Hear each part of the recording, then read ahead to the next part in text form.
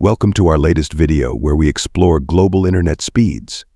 In this comprehensive overview, we'll uncover the fastest and slowest broadband speeds across different countries.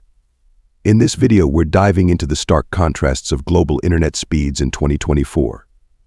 Let's find out who's zooming ahead and who's lagging behind. Stay tuned. As we've seen today, while some countries race ahead with lightning-fast internet, others are barely getting online. Bridging this digital divide is crucial for ensuring that no country is left behind in our increasingly digital world. Efforts to improve infrastructure and invest in technology are essential for global equity and internet access. Our global tour of internet speeds ends with a call to action. While some parts of the world enjoy lightning-fast internet, others struggle with even basic connectivity. This digital disparity highlights a clear and present need to bridge the gap and ensure that every corner of our planet can access the vast resources of the internet.